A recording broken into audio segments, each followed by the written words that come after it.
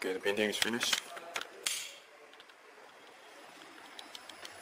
Take a look.